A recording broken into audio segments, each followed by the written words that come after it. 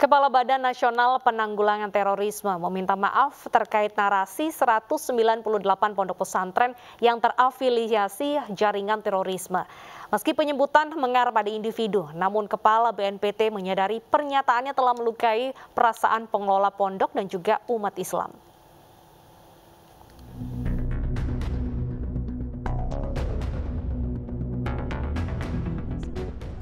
Kepala Badan Nasional Penanggulangan Terorisme Komjen Pol Boy Rafli Amar mendatangi kantor Majelis Ulama Indonesia di kawasan Menteng untuk meminta maaf sekaligus mengklarifikasi pernyataan 198 pondok pesantren yang terafiliasi jaringan terorisme.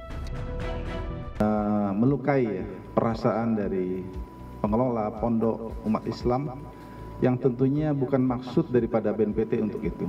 Jadi muncul nama pondok pesantren ini tentu tidak bermaksud menggeneralisir.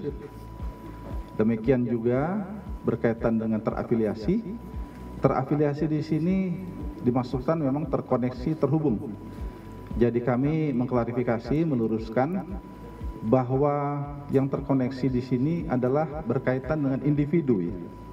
Jadi bukan lembaga, bukan lembaga pondok pesantren secara keseluruhan yang disebutkan itu tetapi adalah ada individu-individu yang terhubung dengan pihak-pihak yang terkena proses hukum terorisme.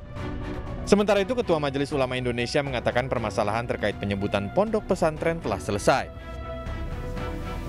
Perlu mengantisipasi dan sekaligus juga terus mewaspadai adanya gerakan-gerakan terorisme, radikalisme, dan ekstremisme itu.